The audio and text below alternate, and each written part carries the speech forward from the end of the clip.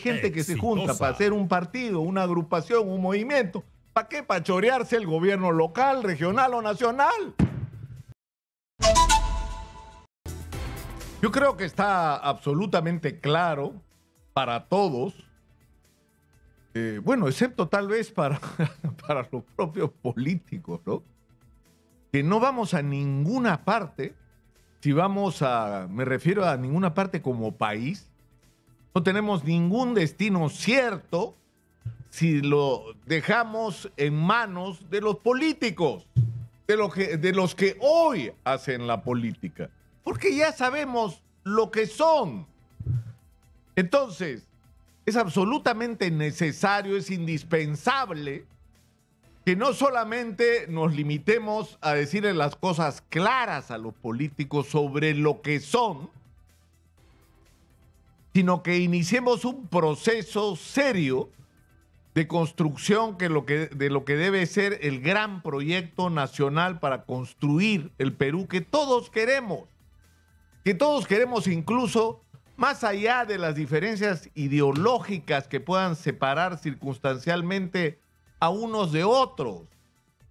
Es decir, hay objetivos comunes como país que son compartidos por todos en el momento en que se pone sobre la mesa de discusión los problemas reales y las alternativas que hay que dar a lo mismo. Y las oportunidades que tenemos y cómo aprovecharlas. De repente cuando uno empieza esa discusión, se da cuenta de que no importa quiénes sean los interlocutores, mientras estos representen a alguien en la sociedad, mientras sean académicos honestos, mientras sean emprendedores, mientras sean empresarios comprometidos con su país, mientras sean líderes sociales, vamos a coincidir en lo que hay que hacer. Lo que nos impide el tapón que impide pasar de esta situación de extraordinarias oportunidades por enésima vez como país, ¿no? Y la absoluta incapacidad, incompetencia de la clase política y su corrupción, es decir, esta contradicción entre cómo podemos tener algo tan grande en las manos y no ser capaces de hacerlo, es porque hemos dejado en las manos equivocadas la capacidad de decisión. Pero yo, yo creo que por eso es tan importante que en el Perú, es decir, porque de lo que estamos hablando no es de problema ni de indignación, estamos hablando de ideas. ¿Cuáles son las ideas con las que vamos a conducir el destino del país? Y en el Perú se ha discutido muy poco de ideas en los últimos años. Y, yo quiero, y, no manejamos con responsabilidad y con seriedad la información de qué es lo que tenemos, qué es lo, lo que tiene valor y qué es lo que no. Entonces lo que yo les propongo, el esfuerzo que yo estoy tratando de hacer hace muchísimo tiempo desde este espacio, es dejemos de lado el fango, dejemos de lado la polarización y empecemos a discutir no solo los problemas reales, sino las soluciones reales para los problemas del país y busquemos los mecanismos que nos permitan escoger a los mejores para que se hagan cargo de la conducción del país, de tomar las riendas de nuestro destino como nación. Pero insisto en que esto tiene que partir de entender lo que nos ha pasado por Dios. Ya nos olvidamos. Exitosa. ¿Ustedes saben cuánto fue la inflación en el Perú el año 1990 eh, cuando terminó el primer gobierno Alan García? Les voy a dar el número. 7 mil 649 y pico, 7.650% anual. Según el Instituto Peruano de Economía en esos días, ellos calculaban que con una inflación aproximada de 400% mensual, más o menos cada 12, 13 días, para que se den una idea, sobre todo los jóvenes, ¿ah? que van a votar y que van a ser determinantes y que además van a tener que cargar sobre sus hombros la conducción del destino del país. Cada 12, 13 días las cosas costaban no 10%, no, el doble, el doble. La economía estaba simplemente quebrada.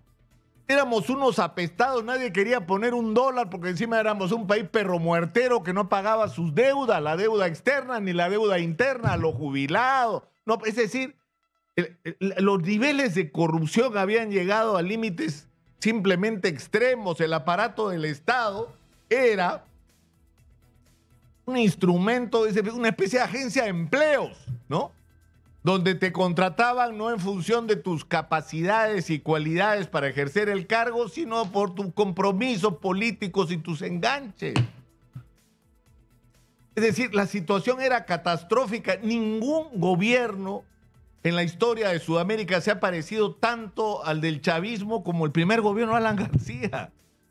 Y eso es verdad. Y de eso felizmente logramos salir. Y yo sé que esto supone un gran esfuerzo sobre la gente que es rabiosamente antifujimorista. Sí, sí señor. Fujimori hizo cosas que debían hacerse en ese momento y que ni siquiera las propuso él.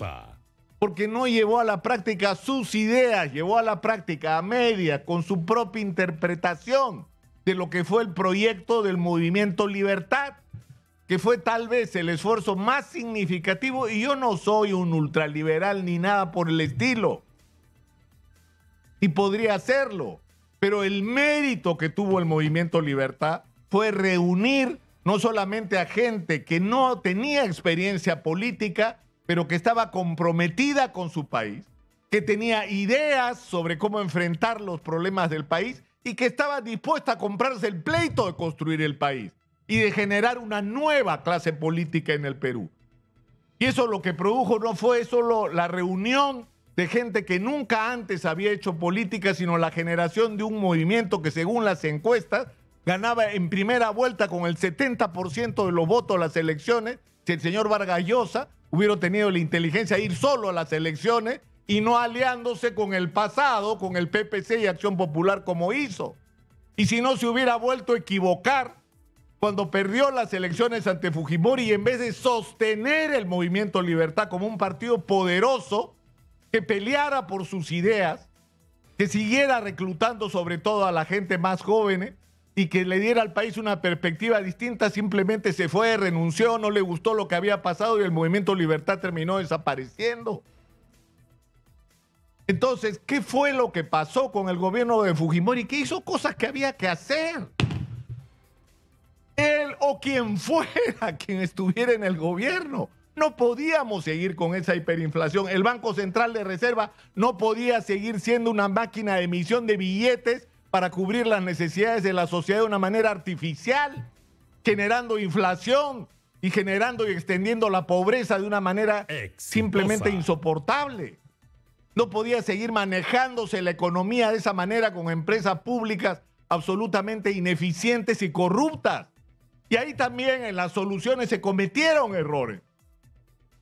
Estuvo muy bien independizar al Banco Central de Reserva como es hoy, que los políticos no le pueden meter la mano, sino que nos cuida las espaldas financieras y económicas como sociedad.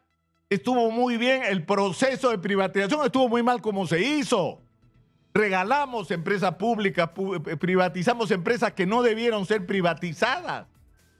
Es decir, se, hizo la cosa a la loca porque la razón es bien simple. No era su plan.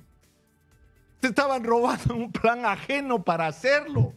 Pero sobre todo, es decir, se abrió la economía y eso estuvo muy bien. Abrir la economía al mundo. Se pagó la deuda externa y se programó el cumplimiento de obligaciones y estuvo muy bien, pero estuvo muy mal no hacer lo mismo con la deuda interna con los jubilados, con los fonavistas. Esta historia de los fonavistas viene desde allá. No ha aparecido ahorita. Entonces, se hicieron cosas importantes que transformaron la vida nacional, que atrajeron la inversión extranjera, por ejemplo, pero que nos enfrentamos en ese momento, aunque parezca mentira, a los mismos problemas de hoy que yo en estos días que he estado fuera y he estado tratando de investigar un poco sobre nuestra historia, son los mismos problemas que tuvimos hace 200 años.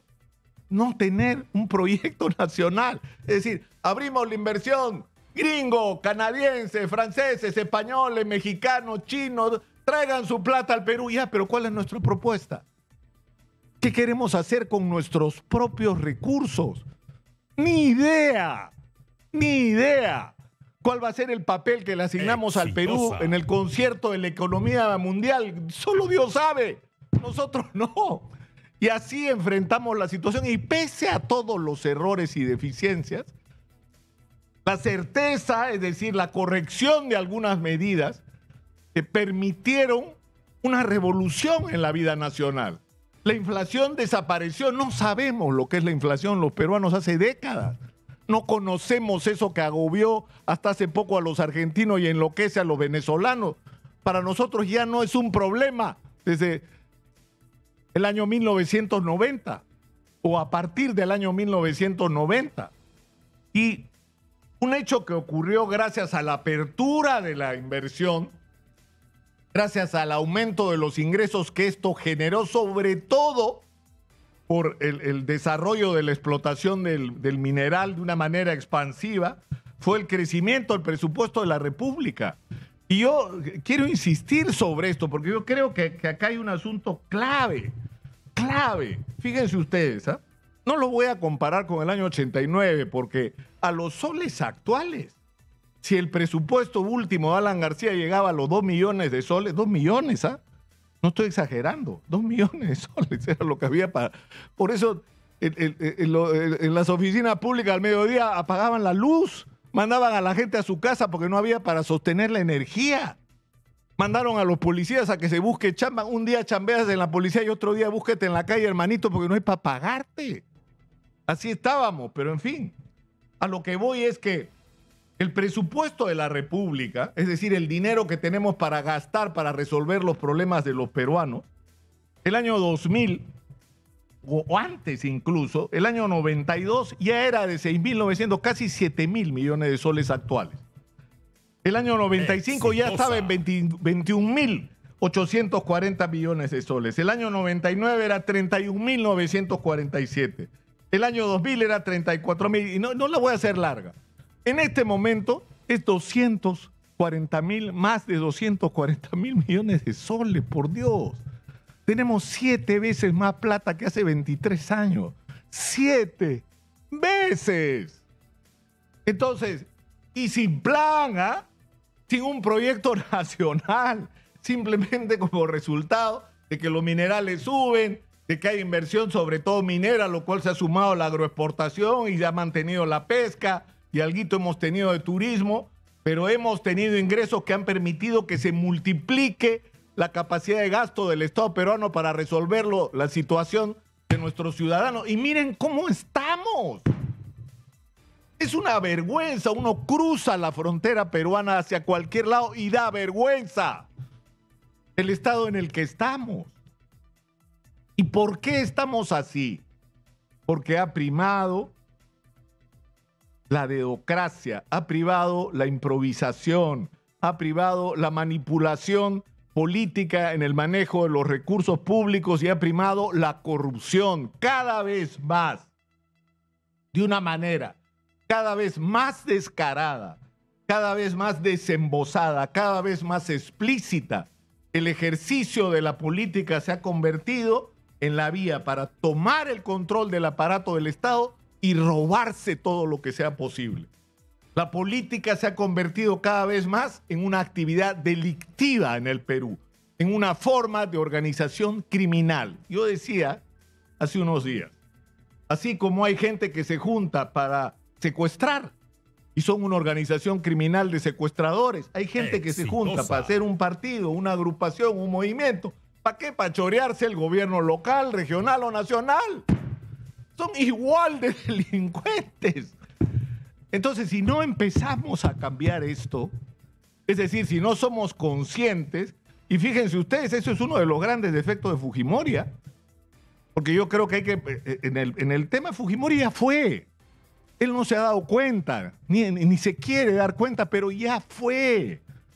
Ingeniero Fujimori, si usted hubiera sido electo, y yo sé que me está escuchando, si hubiera sido electo senador cuando lanzó su candidatura desde Chile, no le hubiéramos visto la nariz. Porque usted reclamó la nacionalidad japonesa. Usted regresó al Perú porque no le quedaba otra. Bueno, porque lo extraditaron, dicho sea de paso.